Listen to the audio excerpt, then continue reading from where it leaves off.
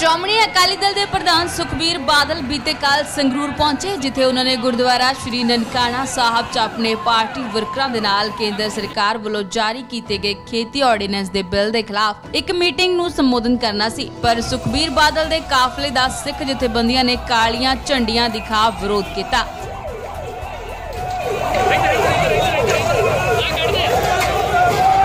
ਸਿੱਖ ਜਥੇਬੰਦੀਆਂ ਨੇ ਪੁਲਿਸ ਦੇ ਲਗਾਏ ਬੈਰੀਗੇਡ ਤੋੜ ਕੇ ਕਾਫਲੇ ਨੂੰ ਰੋਕਣ ਦੀ ਕੋਸ਼ਿਸ਼ ਕੀਤੀ। ਉਹਨਾਂ ਦਾ ਕਹਿਣਾ ਹੈ ਕਿ ਪੰਜ ਦੇ ਦੋਸ਼ੀਆਂ ਨੂੰ ਗੁਰਦੁਆਰਾ ਸਾਹਿਬ 'ਚ ਮੀਟਿੰਗ ਨਹੀਂ ਕਰਨੀ ਚਾਹੀਦੀ। ਇਸ ਮੌਕੇ ਪੁਲਿਸ ਅਤੇ ਸਿੱਖ ਜਥੇਬੰਦੀਆਂ 'ਚ ਬਹਿਸ ਵੀ ਹੁੰਦੀ ਦਿਖਾਈ ਦਿੱਤੀ।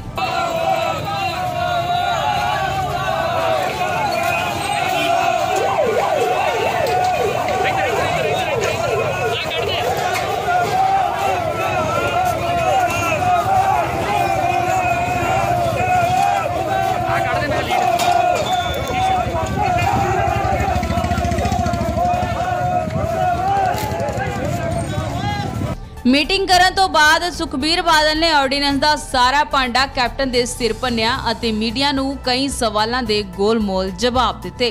ਕੈਪਟਨ ਨੇ ਪਹਿਲੀ ਗੱਲ ਹੈ ਜਿਹੜਾ ਪੁਰਾਣਾ ਸੈਸ਼ਨ ਹੈ, ਜਿਹੜਾ ਪੁਰਾਣਾ ਸੈਸ਼ਨ ਹੈ, ਜਿੱਥੇ ਇਹਨਾਂ ਨੇ ਪਾਸ ਕੀਤਾ ਸੀ ਕਿ ਐਕਟ ਰੱਦ ਕੀਤੇ ਜਾਣ, ਅਫਸੋਸ ਇਸ ਗੱਲ ਦੀ ਹੈ, ਉਹ ਸੈਸ਼ਨ ਦੀ ਪ੍ਰੋਸੀਡਿੰਗ 2 ਮਹੀਨੇ ਹੋ ਗਏ, ਸੈਂਟਰ ਨਹੀਂ ਭੇਜੀ।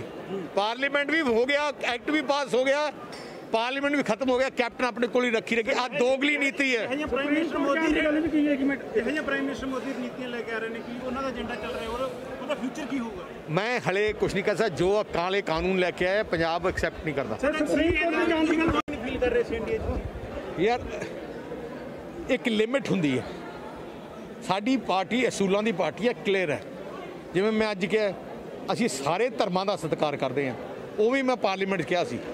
ਮੈਂ ਕਿਹਾ ਮੁਸਲਿਮ ਭਾਈਚਾਰੇ ਨੂੰ ਇਨਕਲੂਡ ਕਰੋ। ਉਵੇਂ ਕਿਸਾਨੀ ਦੀ ਗੱਲ ਕੀਤੀ।